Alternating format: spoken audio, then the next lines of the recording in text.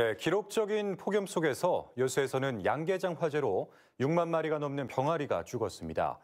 장흥의 한 양식장에선 13마리의 광어가 폐사하는 등 가축 폐사와 노열 질환자 발생도 잇따르고 있습니다. 정희진 기자입니다.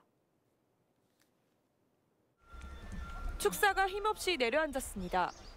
내부엔 앙상한 뼈대와 새카만 재만 남았습니다.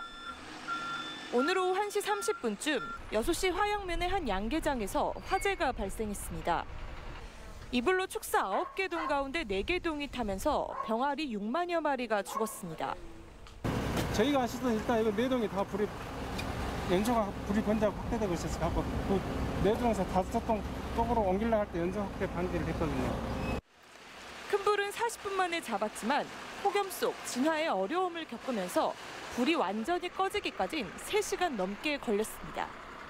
요즘에 날이 원체 계속 연일 폭염에다가 어, 이러다 보니까 아무래도 이제 아직 병아리지만은 그 선풍기라든가 환기 팬이 사용량이 좀 늘고 하다 보는데 경찰과 소방당국은 축산의 선풍기 과열 등 다양한 가능성을 열어놓고 화재 원인을 조사하고 있습니다. 기록적인 폭염으로 가축과 어류 폐사도 잇따르고 있습니다.